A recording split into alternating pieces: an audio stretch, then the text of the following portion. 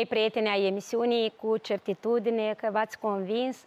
Astăzi, la figurat, va arde vatra noastră, ansamblu de dansuri populare Cimpoieș, de la Manta, au venit cu această suită de dansuri moldovenești. Ne-au pregătit mult mai multe dansuri. Orice ansamblu, orice colectiv are și un conducător artistic, are un maestru coregraf. Ansamblul de dansuri populare de la Manta, Cimpoieș, o are în calitate de coregraf pe Brândușa Papana. Brândușa Papana, care a dansat în faimosul ansamblu Izvorașul de la Cahul. Este o dansatoare profesionistă. Draga mea, îți mulțumesc că ai dat curs invitației. Îți mulțumesc că ai venit cu acest minunat colectiv de la Manta. E greu, e ușor pentru o dansatoare să lucreze cu acești copii minunați, cu acești gâgâlici. Cum e? E greu, dar e interesant.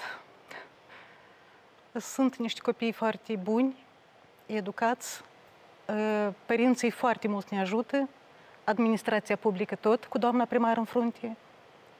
Și faci în față, cred că. Brândușa, te simt un om împlinit. A fi împlinit înseamnă să faci ceea ce îți place. Tu faci ceea ce îți place, să ghidezi acești copii și trebuie să le spunem că la Manta toți dansează, și mic și mare, și cred că e un mare noroc să fii un coregraf cu acest ansamblu, care e faima, bogăția și comoara satului Manta. Eu propun să ne demonstrați o mărunțică, dar de fapt să nu ținem uh, telespectatorul așa cu inima strânsă, ce dansuri vor mai admira în această ediție? Mărunțica, uh, hora de veselie, țărănească, sârba și hora calamanta. Aha, dacă Sârba și Hora Calamanta e spre final, ohoho, fiți atenți, fiți alături de noi. Dansează Cimpoieș de la Manta.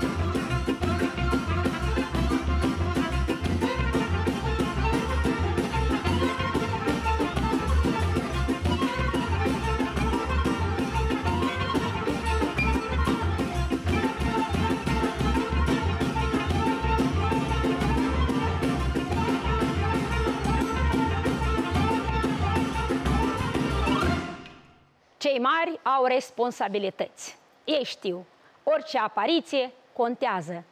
Eu, din spatele camerelor, am pus ochiul pe cei mai micuți. Și acum, să-i auzim. Vă rog foarte frumos, domnițelor, să vă prezentați. Pe mine mă cheamă Nicoleta, familia mea este tăfăneasă și am 8 ani. Foarte frumos, Și pe mine mă cheamă Camischi Elizaveta și am 8 ani. foarte frumos. Și acum, împreună, de câți anișori dansați? De un an, da. De un an? Da. Și ați obținut astfel de performanțe? Da? da. Dacă vin eu la repetiție la voi, aș putea dansa ca și voi? Nu știu. E, adică, la sigur că n-aș dansa atât de bine ca voi. Nu știți? Nu știu. E frumos. O să vreți să deveniți dansatoare? Da. Da. Asta contează.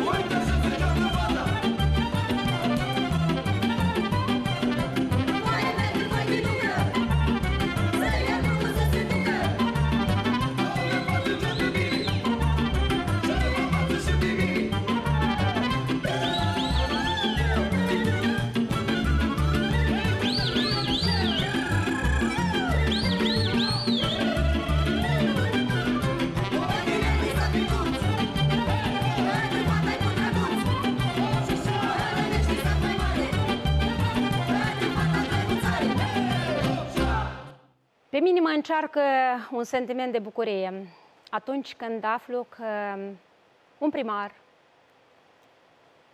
își dă toată străduința ca să ajute colectivul care există.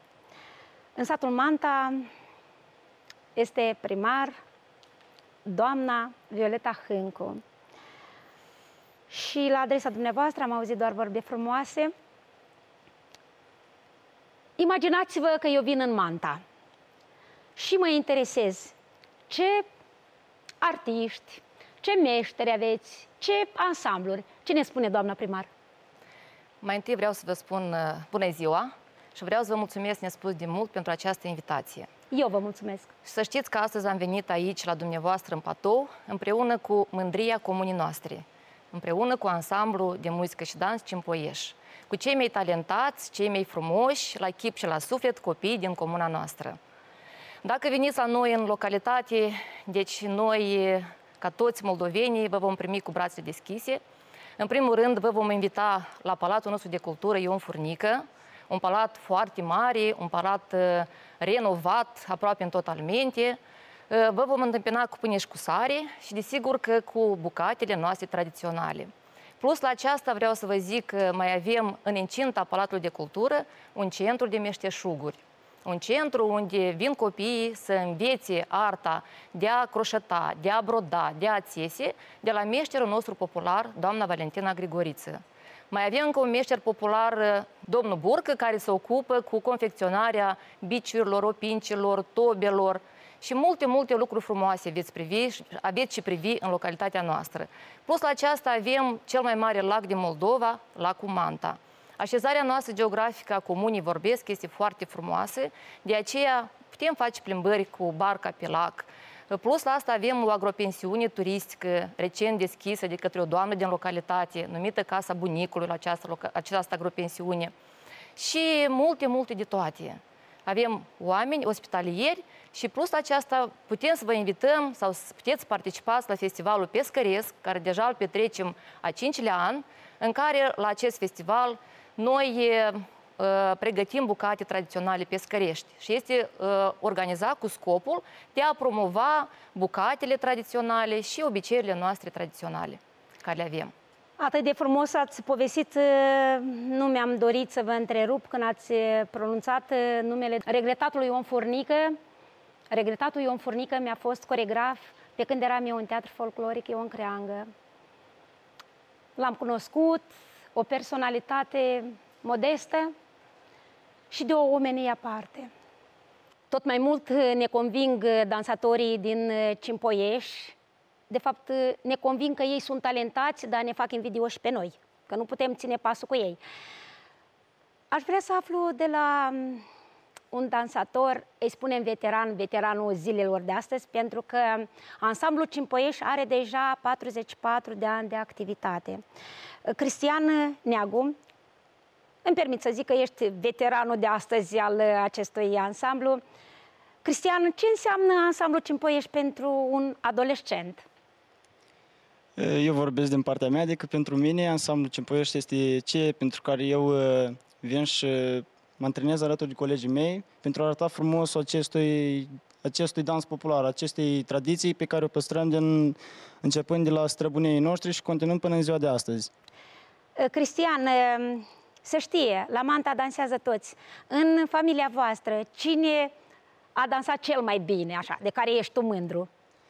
În familia noastră nu prea am avut uh, persoane pasionate de dans, dar eu, de la sine, am ales ca să duc tradiția și să o continui împreună și cu copiii mei și cu urmașii familiei mele. Ah, ce frumos, foarte frumos. Cristian, voi veniți la repetiție. Iată, veniți doar să învățați pasul, mișcarea, sau veniți să mai vă vedeți, să comunicați, care este, eu nu înțeleg care e farmicul ăsta. Produsul se vede mai târziu, da? rezultatul mai târziu, când apareți în scenă, apareți la o emisiune. Dar iată, care e atmosfera de la repetiție? Repetiție întotdeauna, atât eu cât și colegii mei venim cu o mare dispoziție și apropo, vorbind de comunicare, noi mereu comunicăm prin dans, deoarece noi păstrăm această tradiție, încă cum am mai spus, de la străbunii noștri. Mă bucur nespus de mult că ei vin să danseze din plăcere. Să-i urmărim!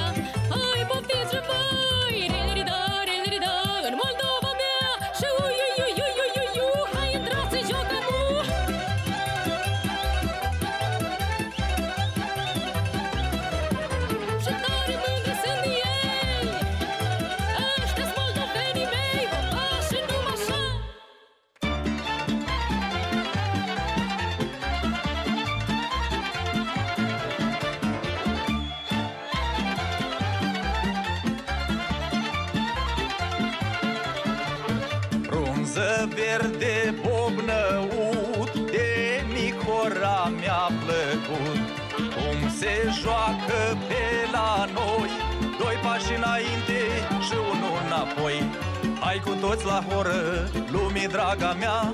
Hai să învârtim hora noastră cu tot neamul alăturea. Iar basul călcâi o bat pe pământul nostru drag. Hai să o învârtim fraților Hora moldovenilor. Ei, Hai să o jucăm fraților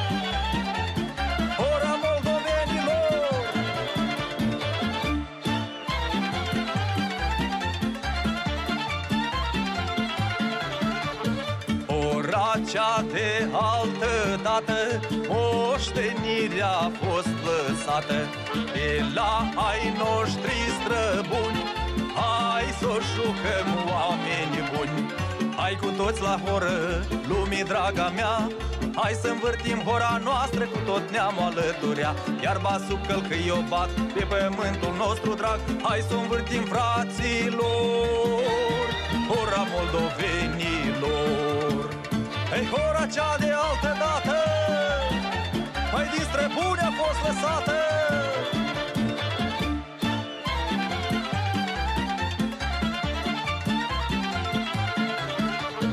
Din Carpați până la mare Ora nu are hotare O jucăm din neam în neam Strănepoții lui Ștefan Hai cu toți la horă, lumii draga mea. Hai să învârtim hora noastră cu tot neamul alăturea. Iar basul călcâi o bat pe pământul nostru drag. Hai să o învârtim fraților Hora moldovenilor. Ei, jucați hora apăsat Băi, din străbuni ne-a fost lăsat. Ei, să o jucăm din neam în neam Ei, strănepoții lui Ștefan. Hop, și așa, și așa.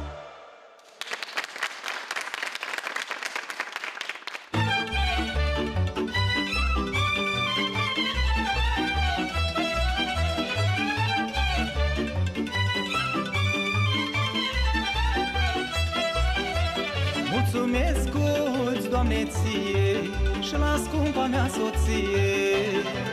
Pentru darul ce mi-ai stat, mai M-ați făcut cel mai bogat, mai Doi băieți înalți ca brazii Cum în lume nu sunt alții. Doi feciori ca două stele Fericirea vieții mele. Băieții, băieții îmi sunt averea Viitorul, sprijinul și mângâierea.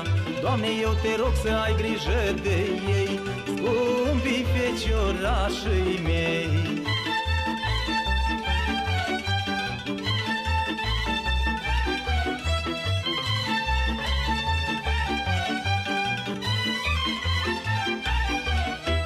Chiar de viața mă încearcă și mi-este greu câteodată. Când mă uit la ei cum cresc mai Nici nu văd când bătrânesc mai Băieții îți dau speranță Să treci mai ușor prin viață. Ține-i, Doamne, sănătoși mai Pe copiii mei frumoși mai Băieții, băieții îmi sunt averea Viitorul, sprijinul și mângâierea. Doamne, eu te rog să ai grijă de ei Scumpii feciorașii mei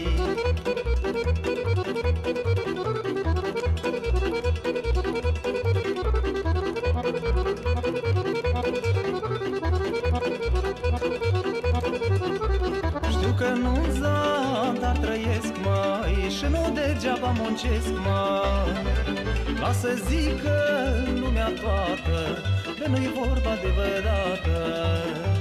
Nu-i avere mai frumoasă Decât copilaș la masă.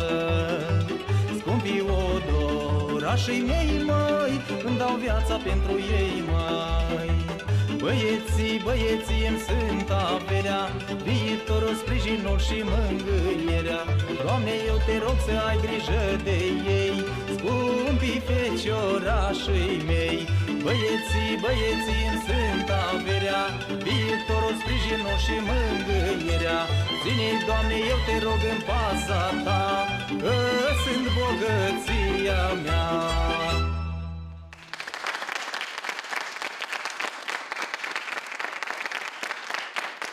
Într-o familie, fie bunicul, fie tatăl, fie mama, își dorește ca anume odorașul, odrasla, copilașul, să facă dans, să aibă ținuta frumoasă, să fie dansator, să meargă prin turnee, să apară și în emisiuni. Doamna primar, cine le-a insuflat această dragoste anume dansatorilor de la Manta? Ansamblul Cimpoieș are o vârstă, are 44 de ani. Dar acești copii au fost descoperiți, descoperite talentele lor în, în arta aceasta dansului de către domnul Ion Papana. Regretatul Ion Regretatul Papana. Ion Papana. Ne pare foarte rău că dumnealui nu mai este în viață, că nu este prezent aici, în platou, dar eu cred că de acolo de sus vede și se mândrește cu acești minunați copii. Și ne bucurăm că acest ansamblu are continuitate și este condus în continuare de către soția dumnealui, doamna Brândușa Papana, pentru ce îi mulțumim din suflet. Mulțumesc, aș vrea să spun și părinților acestor copii care susțin acești copii, care îi ajută moral, financiar, fiindcă ei sunt niște amatori, nu sunt dansatori, nu sunt remunerați, dar ei ce fac, fac din suflet. Și ați văzut dumneavoastră că ei dansează cu pasiune, dansează cu foc, așa cum se dansează la Manta. Le urăm succes acestor tineri frumoși și sunt sigură că vor veni și alte generații care vor îndrăgi dansul și totdeauna Comuna Manta va fi proslăvită prin dansurile sale. Foarte frumos. Apropo, dacă ați amintit de e, regretatul Ionel Papana, dinastia Papana mai are un dansator foarte bun. E vorba de Maxim Papana, feciorul dumnealor. Maxim, ai toată aprecierea și admirația noastră. Nu o să obosesc niciodată să spun că noi românii suntem generoși. În această ediție, maestru coregraf Brândușa Papana nu ne-a adus doar acești minunați copiși și talentați, de care și doamna primar este mândră. Brândușa Papana, coregraful, mi-a adus, cred că, cel mai scump și de preț cadou. Ne-a adus emisiunii la noi în sat acest prosop țesut de mama dumneiei, regretata Anatoma. Eu nu știu dacă cineva se poate despărți de un cadou atât de preț. Oare noi îl merităm? Asta doar putem să spunem, draga noastră Brândușa, să știi că o să-l păstrăm cu mare cinste și din când în când o să amintim și o să vă mulțumim că ne-ați dat din zestrea voastră și nouă celor de la emisiunea La Noi în Sat. Bunii mei prieteni ai emisiunii, dragii noștri telespectatori, totdeauna spunem că sfârșitul încununează opera. Nu doar Horaș și Sârba Calamanta este demnă de apreciat. Astăzi cred că în platoul nostru v-ați convins și dumneavoastră, am avut virtuozi dansatori. Aș spune perfecționiști. Ei nu sunt dansatori amatori, nu pot să le spun amatori. Ei sunt pe bune dansatori minunați.